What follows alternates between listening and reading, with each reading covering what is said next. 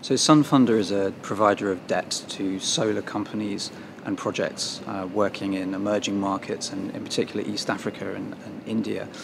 And we work with a lot of local solar distributors um, who are really setting up uh, businesses where they're able to um, scale quickly, provide energy access through, through solar.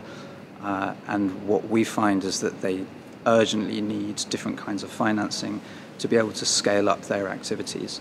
Uh, and that's where we come in. And there's a real shortage of that kind of finance at the moment, but we're seeing, um, seeing it steadily grow. And we're finding uh, solutions for essentially bringing um, international finance down to the local level.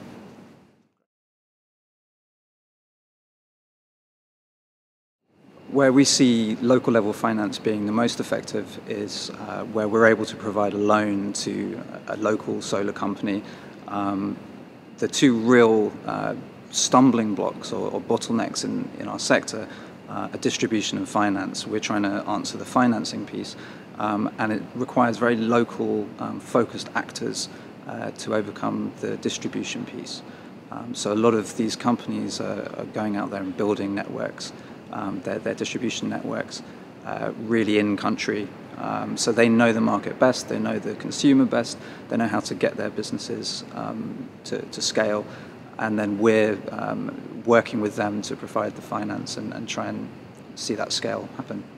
Of the kinds of uh, financing arrangements we're making with, with local level actors, uh, there's really two big needs. Uh, one is the working capital for local uh, businesses to um, scale up their activities, um, but the other is to do that in uh, particular structured finance vehicles uh, and I'd say that's uh, one of the areas we're seeing a lot of traction uh, for the off-grid solar in, sector in general.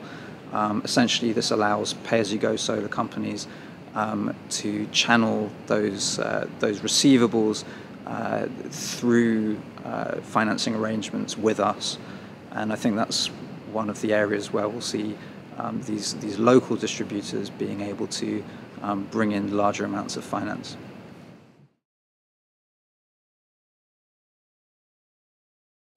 So we have a tremendous opportunity to, to, to grow this sector and to make available uh, options for energy access um, delivered through uh, local businesses, uh, communities, um, and also international um, companies that are, that are seeing real traction in the sector.